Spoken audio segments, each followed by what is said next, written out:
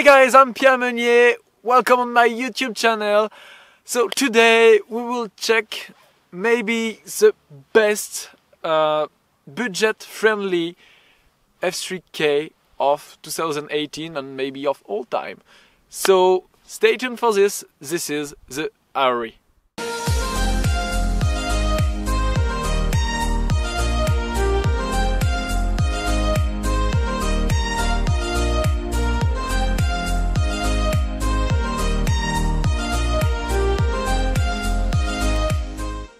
So I don't know if I spell the name correctly. I'm sorry about that, but there is how you can see it. Um, so this glider is the cheapest glider I ever reviewed for 1.5 meter size.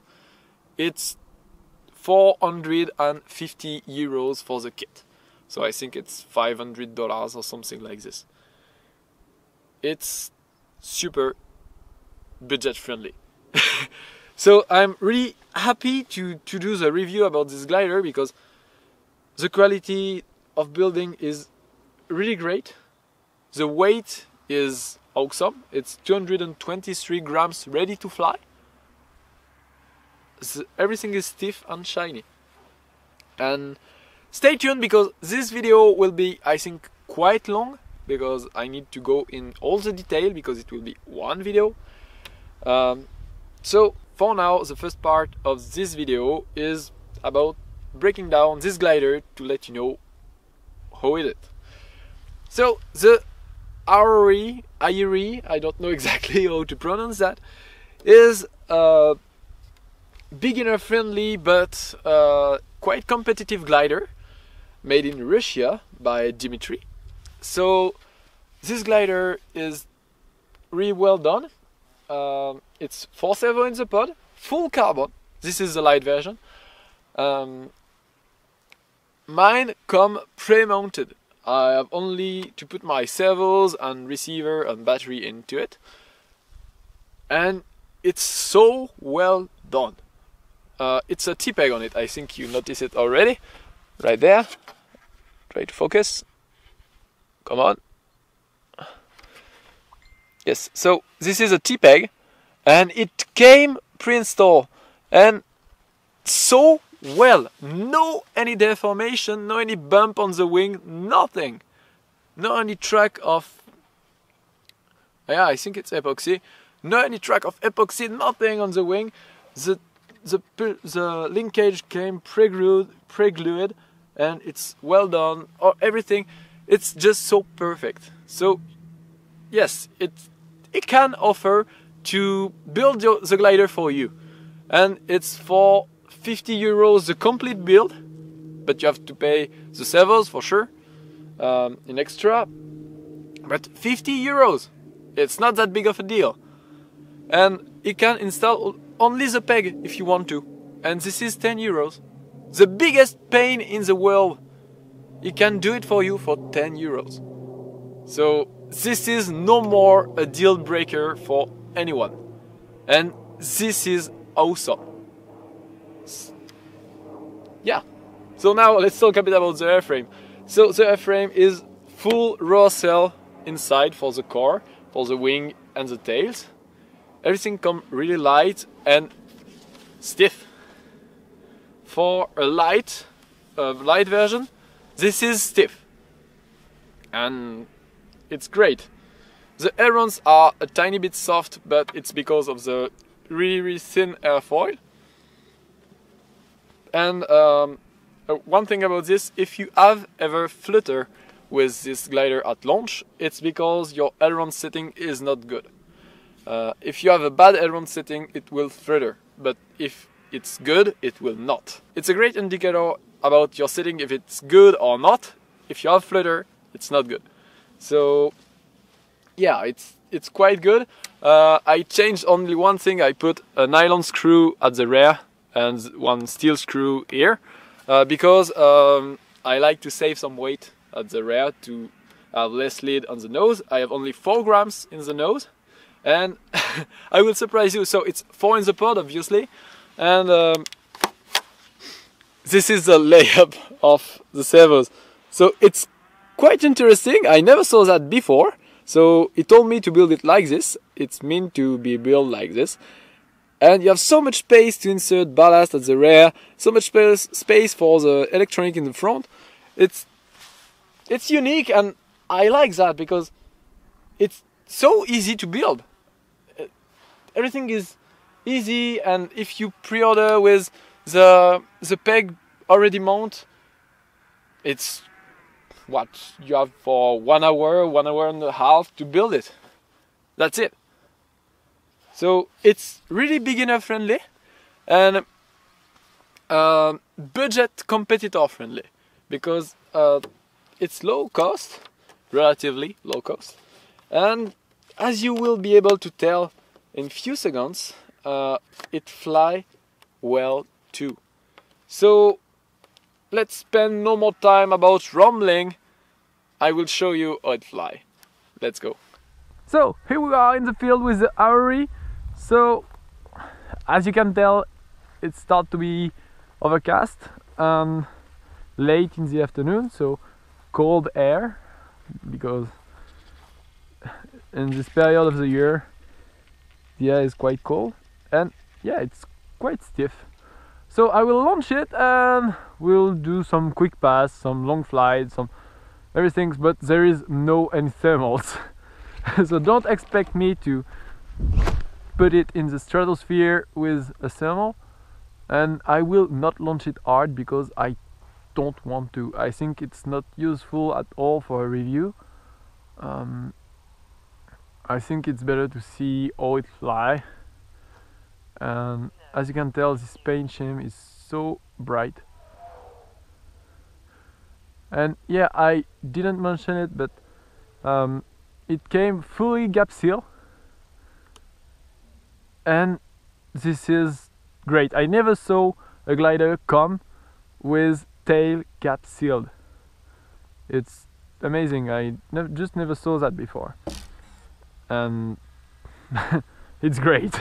Damn it's great so yeah it can just be launched normally and fly normally but you can fly out contest with it too because it performs quite nice actually.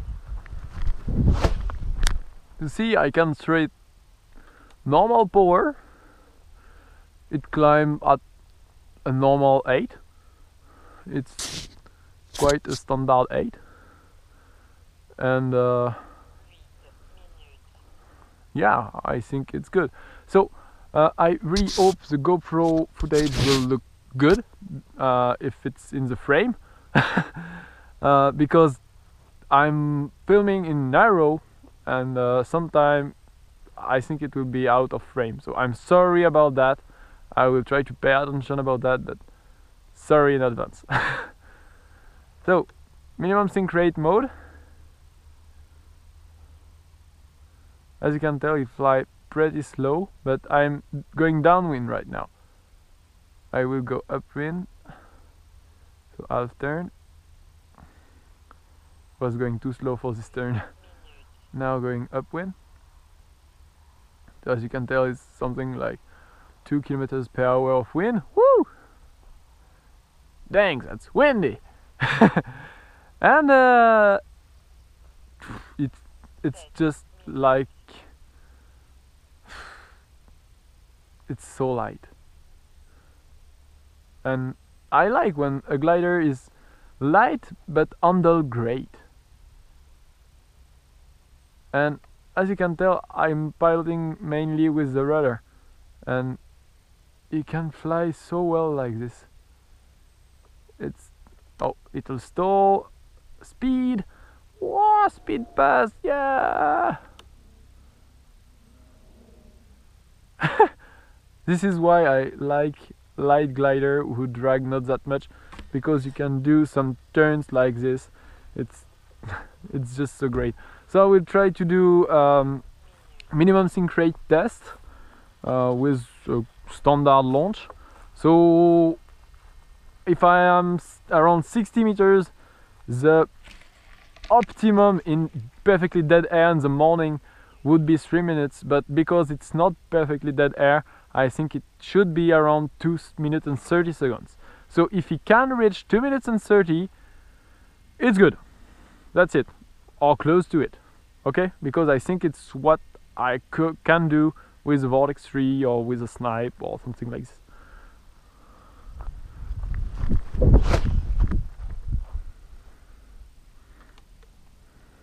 Let's go! And if you do 3 minutes, it's amazing. so yeah, I'm around, yeah, I think around 60.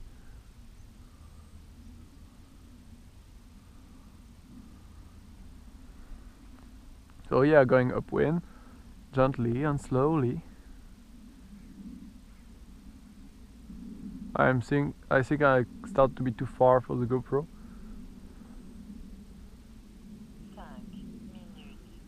Ah, I'm in good air right now. So I told you I could hit sink, I could hit good air, but if I hit good air, I will hit sink at one moment. So, yeah. Ah, it turns so much because thermal is right there and it was passing on the side of the thermal so it make it turn one minute already and I'm still high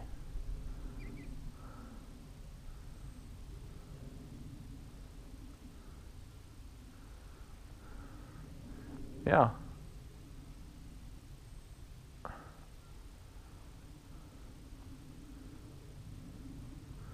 We'll go above the trees a bit.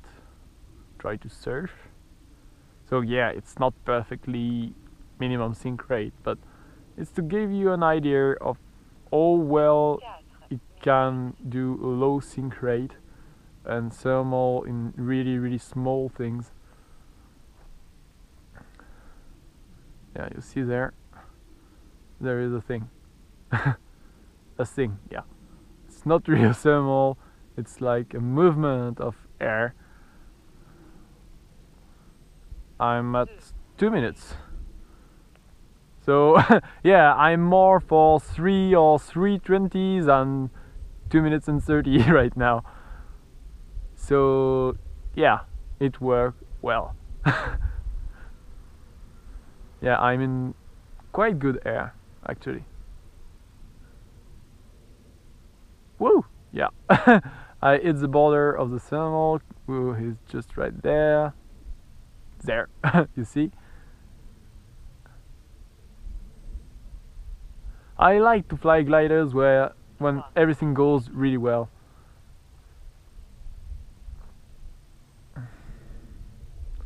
And this rudder is just so good, but I forget to leave the glider fly because it's so gentle and so easy that I push it so too far really.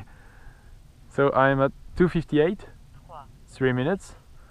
So yeah quite nice. Um, yeah I, I didn't expect that much.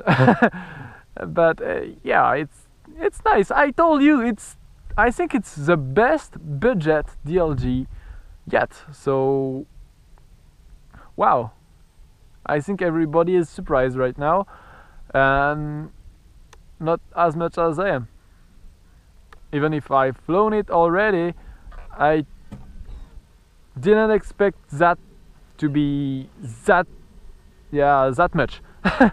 So it's yeah it's quite nice. I I like it. I will do some some pass some funny things right now because I want to do some things like this. And you you can just yeah it's easy to throw. I like to do things like this. Reverse. Because I'm starting to be dizzy it's because I have some camber that it whistle so because I want to turn tight and perfectly on the side. So I need to use some camber. But yeah it's I like it. I think it's I think it's a really good glider for the price. And even if you don't consider the price it's it's a good glider. So yeah Yeah, good one. Good one. So if you are looking for a DLG and you want it first hand, I think you should go check for this one. so that was my review of the Harari. Uh, I hope you liked it. Um, if you want to, you can support me on Patreon. I would be really glad about that. Um, and uh, yeah, if you're not already, you can subscribe just down there. That's it for me for today. Thank you a lot for watching and see you next time. Bye.